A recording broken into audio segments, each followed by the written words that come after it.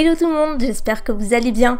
Donc j'ai décidé de refaire ma vidéo favorite, à savoir mes essentiels de l'automne cette fois-ci, puisque j'avais fait euh, pour cet été et vous aviez adoré cette vidéo, donc j'ai décidé de la refaire avec une nouvelle recette, une tenue, des vernis, mon make-up, vraiment mon go-to pour l'automne et l'hiver. Donc c'est parti on commence avec le maquillage que je préfère faire pour la saison actuelle. Et pour les yeux, j'aime beaucoup cette palette euh, de chez Tarte. Je la trouve absolument parfaite.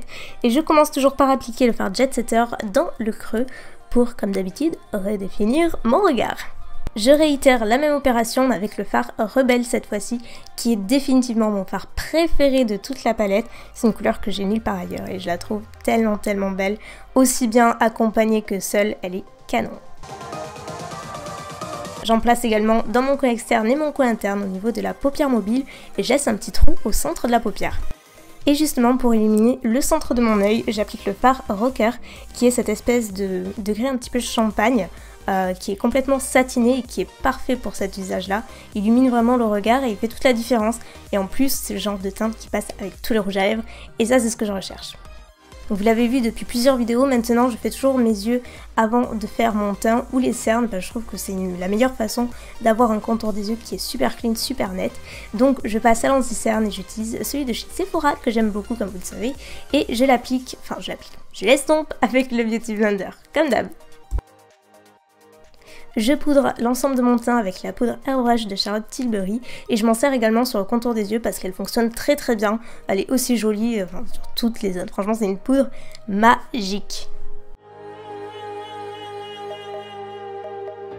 Pour les sourcils, rien d'extraordinaire, j'utilise toujours mon Cabro de Benefit que j'aime beaucoup beaucoup. C'est vraiment mon produit chouchou pour les sourcils. Depuis qu'il est sorti, je n'utilise que lui. Je pense que vous l'avez compris. Je repasse aux yeux cette fois-ci euh, tout le long du ras des cils inférieurs et je rapplique le fard rebelle tout le long euh, sans oublier de bien, bien l'estomper. Et par-dessus je rajoute le leader qui est ce prune bordeaux un petit peu foncé pour vraiment intensifier. Le but c'est d'avoir quelque chose d'assez smoky, d'assez fumé, je vais pas arriver à parler. Et pour le coin interne, pour illuminer, je viens mixer le rocker et le fun girl qui sont des couleurs satinées. Mon combo gagnant pour les cils, c'est cette base NYX et le, ce nouveau mascara de chez L'Oréal qui est incroyable. Il faut à tout prix que vous l'essayiez et que vous m'en dites des nouvelles parce qu'il est incroyable. Il me fait penser au Daryl de Benefit. Il sépare vachement les cils, il est très noir et j'ai l'impression qu'il me colle des cils que je n'ai pas. Voilà, c'est tout simple. Pour le teint, j'utilise en ce moment le Master Sculpt de Je mets Maybelline que j'aime beaucoup beaucoup. Si vous cherchez un bronzer vraiment sympa de grande surface, je vous le conseille. Euh, il est pimenté juste comme il faut, il est mat, enfin franchement il est un super fini, il est très facile à utiliser. Vous pouvez pas du tout vous rater. En blush, j'alterne entre deux et principalement celui-ci qui est le Songbird de Becca qui est un magnifique, un petit peu abricot mais euh, marronné un petit peu, vous voyez, donc il est parfait pour l'automne. Et les blushs Becca, mais il faut tout prix que vous les ils sont divins. Et bien sûr, impossible de ne pas avoir de glow. Donc pour ça, j'utilise la teinte Flashlight de la palette Flashlight, tout simplement. Vous savez, le glow, c'est la vie. Vous vous en doutez, c'est cette partie qui change le plus souvent selon mes humeurs, mais c'est vrai que pour la saison, moi j'aime beaucoup les rouges à lèvres assez foncés. Euh, je pense pas avoir plus foncé que celui-ci de Too Faced. Il est magnifique, enfin on aime ou on n'aime pas pour le coup, moi je vous avoue que j'adore. Je peux passer du nude au super super foncé, ça me dérange pas du tout, mais là j'avoue, euh, ce combo est, est assez canon. Avec le bordeaux, j'aime beaucoup. Voilà, voilà.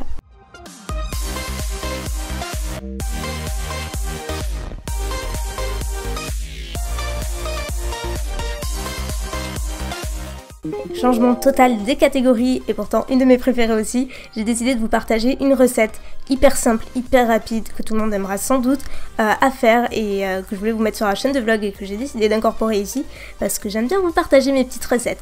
Donc aujourd'hui je vais vous montrer comment je fais mes petites coquillettes de jambon en façon risotto, c'est trop bon. Donc dans une poêle ou un wok, c'est encore mieux, versez un petit peu d'huile d'olive et faites revenir vos oignons. Donc c'est vraiment au feeling, il euh, n'y a pas de portion euh, en particulier. Faites-les revenir quelques temps jusqu'à ce qu'elles brunissent, jusqu'à ce qu'ils brunissent un petit peu. Donc la différence avec cette recette, c'est qu'on utilise les pâtes crues. Donc comme vous le voyez, je les verse directement dans mon wok, je les mélange bien euh, avec l'oignon pour que ça prenne bien le goût. Et ensuite, je rajoute le vin, le vin blanc, pardon. le vin blanc, pareil, je n'arrête pas de mélanger, je laisse revenir environ 2 minutes à feu moyen. J'incorpore ensuite 70 centilitres d'eau et j'ai dilué à l'intérieur un petit, un petit cube cubord de bouillon de volaille pour que ça prenne vraiment le goût, c'est ce qui va faire absolument toute la différence. Donc surtout ne sautez pas sur cette étape, le, vraiment le bouillon fait toute la différence. Et là, laissez revenir jusqu'à ce que les coquillettes soient cuites. Il faut compter quand même 20 minutes, une demi-heure, mais voilà, n'hésitez pas à mélanger assez régulièrement. Une fois que c'est cuit, vous pouvez ajouter vos dés de jambon. N'oubliez pas d'assaisonner, saler, poivrer, mettre des épices si vous le souhaitez. Moi j'ai mis un petit peu de ciboulette.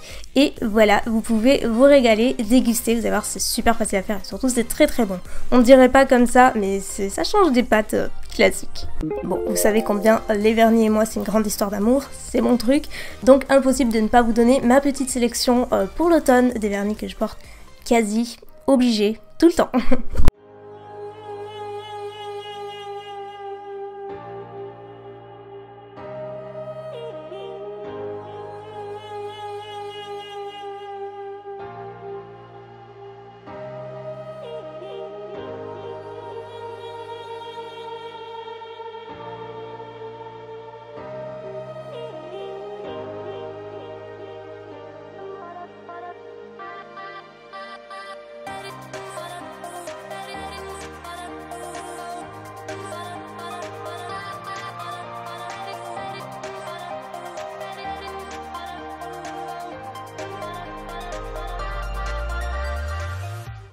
Et pour terminer avec la tenue, il n'y en a pas qu'une bien entendu, ça serait bien dommage, mais euh, c'est typiquement le genre de tenue que j'aime beaucoup porter pour la saison, euh, qui se veut à la fois confortable et un petit peu de couleur, mais pas trop.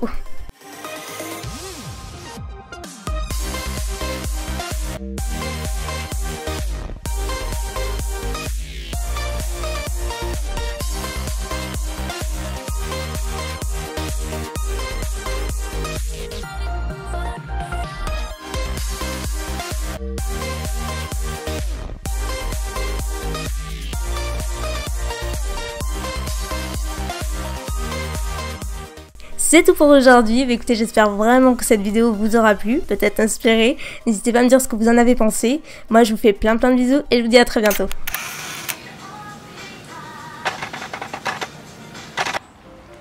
Non, il y a juste le panneau du chien derrière. Bien, mais j'avais pas fini. Ah, mais. C'est pour faire le mouvement, non, pour faire au ralenti. Non, mais on dirait que t'as des pellicules.